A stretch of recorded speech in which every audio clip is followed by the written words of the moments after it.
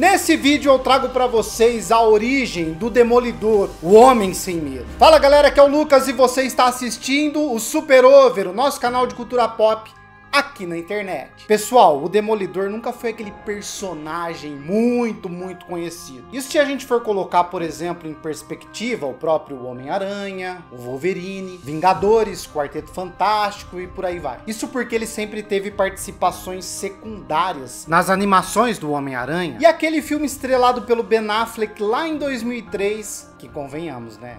É bem tosco. Só que tudo mudou depois da série produzida pela Netflix. Lógico, em parceria com a Marvel e a ABC. As lutas, o roteiro e a atuação do Charlie Cox no papel de Demolidor fizeram o personagem cair finalmente nas graças do público pessoal. Então, se você está interessado a conhecer vários detalhes e a origem desse personagem, segue comigo no vídeo, já é um quadro clássico aqui do canal e tá continuando graças ao like de vocês, a esse apoio maravilhoso que a gente vai contar mais uma vez. Aliás, eu conto sempre com esse apoio importante de vocês. Se você tá chegando agora, caiu de paraquedas, não esquece de se inscrever e ativar o seu sininho das notificações, porque a gente vai trazer mais vídeos de outros personagens e mais origens. Agora sim, Vamos lá. O Demolidor, Matt Murdock, foi criado por Stan Lee, Jack Kirby e Bill Everett, lá em 1964. O Matt supostamente perdeu a sua mãe enquanto era novo e cresceu aos cuidados do seu pai, o Jack Murdock, que era um boxeador que também fazia alguns trabalhos para mafiosos. Às vezes, o Jack tinha vergonha pessoal do que fazia. E ele não queria que o filho tivesse o mesmo destino dele.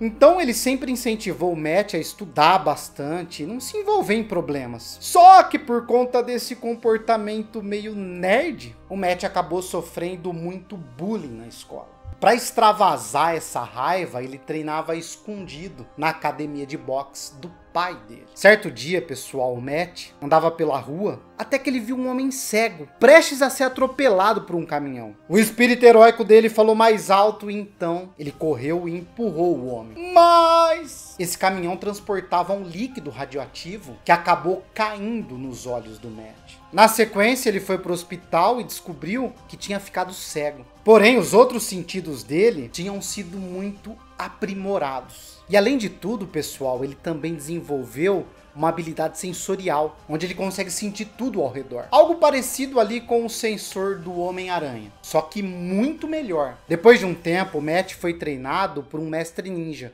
o Stick. Foi esse mestre que ele aprendeu a controlar totalmente as habilidades dele. Mas seguindo o conselho do pai, ele decidiu continuar com os estudos. Então ele entrou numa universidade e estudou direito ele estudou direito, direitinho que eu falo, mas ele estudou direito de direito da lei, entenderam? Nessa universidade ele conheceu o Fog Nelson, o melhor amigo dele. E a Electra, o grande amor da vida do Demolidor. Só que depois que eles se formaram, o Matt e o Fog decidiram criar um escritório de advocacia, que é o famoso Nelson e Murdoch. Enquanto isso, o pai dele, o Jack, ainda lutava. E durante um certo dia, galera, ele foi pago para perder uma luta. Só que quando ele percebeu que o Matt estava assistindo esse combate, ele então decidiu ganhar para não envergonhar o filho ali. E como essas lutas eram compradas e financiadas por mafiosos, assim que o Jack saiu para ir embora, o que aconteceu? Ele infelizmente foi morto por alguns deles. Revoltado com o sistema que não era capaz de punir os bandidos da cidade, o Matt decidiu resolver isso por conta própria. Então ele era um advogado durante o dia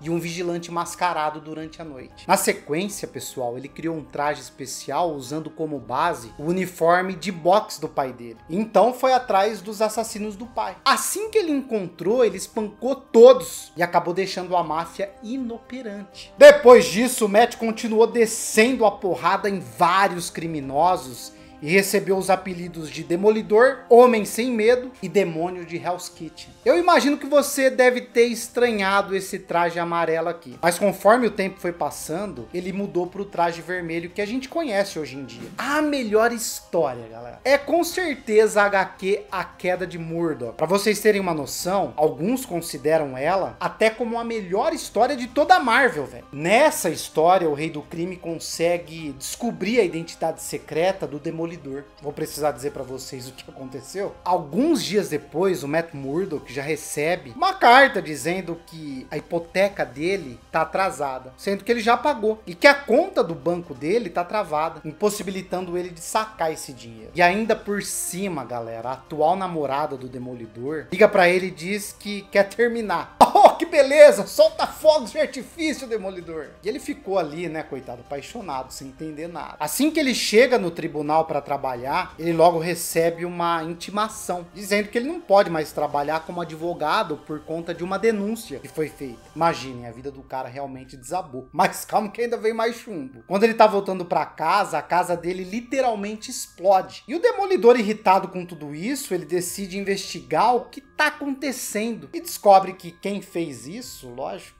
rei do crime. E por conta disso, claro, ele foi até o prédio do Fisk para dar umas porradas nele lá. Só que o Fisk já estava preparado e quem acabou apanhando foi o Matt. E ainda por cima ele quase morreu. Depois disso, galera, ele começou a viver como um mendigo. Certo dia acabou sendo esfaqueado e deixado para morrer na rua. Enquanto agonizava, ele foi ali encontrado e levado para uma igreja por uma freira. Então a gente descobre que quem é essa freira, na verdade, é a própria mãe do Matt. E depois de se recuperar, ele consegue juntar algumas provas para incriminar o rei do crime, mas como a gente já sabe, o Wilson, dentro ou fora da prisão, dá na mesma, né? Já que ele tem a cidade toda na mão. Já o Matt continuou com a vida destruída por um tempo. Agora vamos pros poderes. Poderes e habilidades do Demolidor. Vamos lá. Como eu já citei para vocês, pessoal, por mais que ele seja cego, lógico que os outros sentidos dele são bem aprimorados. Para vocês terem uma noção, o Demolidor ele consegue até ouvir batimentos cardíacos. Lógico de pessoas que estão próximas ali a ele. Quando ele sobe em prédios altos de Nova York, ele consegue ouvir praticamente tudo que está acontecendo na cidade. A audição do homem não é brincadeira não. Ai, graças a ele conseguir escutar os batimentos cardíacos das pessoas, ele consegue consegue saber quando essas pessoas estão mentindo, por exemplo. Isso porque, galera, quando geralmente uma pessoa mente, a tendência é que os batimentos cardíacos acelerem naturalmente. Como a audição, o mesmo a gente pode aplicar para o tato, o olfato e o paladar do Demolidor. Todos eles estão num nível sobre-humano. Uma outra habilidade que ele possui é algo tipo como um radar ou ecolocalização. Graças a isso ele consegue sentir tudo ao redor dele. Objeto, coisas, pessoas se movendo, enfim. É bem parecido ali com o sentido do aranha. Agora, se você acha que só porque ele não tem super força significa que ele é fraco, comparado com outros heróis, por exemplo. Só para vocês terem uma noção, o Demolidor sabe lutar boxe, ninjutsu, jiu-jitsu, judô, kung fu, taekwondo, krav maga, karatê, capoeira e aikido. Ah, o bicho é brabo, hein, velho? De acordo com o próprio Nick Fury, galera, ele é um dos artistas marciais mais habilidosos, isso de toda a Marvel. E além de tudo isso, Demolidor também possui reflexos, velocidade, resistência e regeneração. Isso tudo no máximo que um ser humano pode atingir. Agora vamos para as fraquezas. Tirando a cegueira, lógico, a maior fraqueza dele é quando o inimigo usa algum tipo de técnica, pessoal, para atrapalhar os sentidos dele, entenderam? Como são os altos, por exemplo, ou alguns tipos de inimigos que conseguem esconder os batimentos cardíacos e se movimentar de maneira silenciosa. Vamos falar sobre algumas curiosidades aí do Demolidor. Vamos lá, isso aqui pode parecer meio estranho, mas lembra daquele líquido radioativo que caiu nos olhos do Matt? Então, galera, um pouco desse mesmo líquido que caiu em um bueiro acabou atingindo ali quatro tartarugas. Essas mesmas tartarugas cresceram e se tornaram ninjas. E sim, eu tô falando das próprias tartarugas ninjas. Por mais que elas não sejam da Marvel, o criador delas decidiu usar essa mesma origem como uma forma de homenagear o Demolidor, entenderam? O próprio Rato Falante ali, o Mestre Splinter, foi inspirado no mestre do Demolidor, o Stick. Além de já ter feito parte dos Defensores, o Demolidor já fez parte até dos próprios Vingadores. Isso por um curto período de tempo ali. Ah, outro detalhe, ele como Matt Murdock já defendeu o Quarteto Fantástico numa certa ocasião aí. Ao longo das HQs, o Matt já teve diversas namoradas.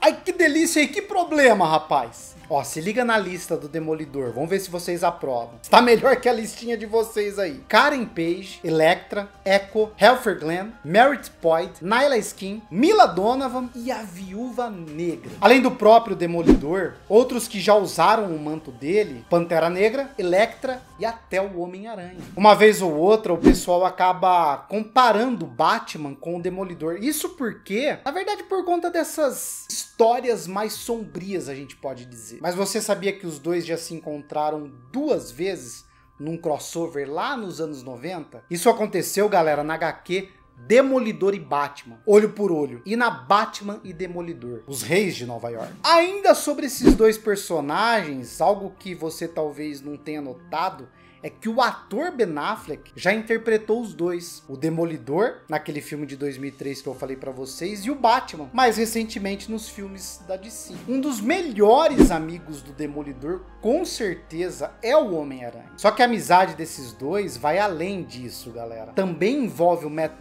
Murdock e o Peter Parker como pessoas mesmo, sacam? Lógico, porque os dois sabem um da identidade secreta um do outro. Pessoal, o que, que vocês acharam da história do Demolidor? Cara, eu particularmente eu gosto dessas histórias mais sérias, mais sombrias, principalmente depois da série da Netflix, saca? Tipo, uma pegada mais sombria, mais dark, até mais violenta, mais séria. Outra coisa é essa relação de ódio que ele tem com o Rei do Crime, né? Incrível.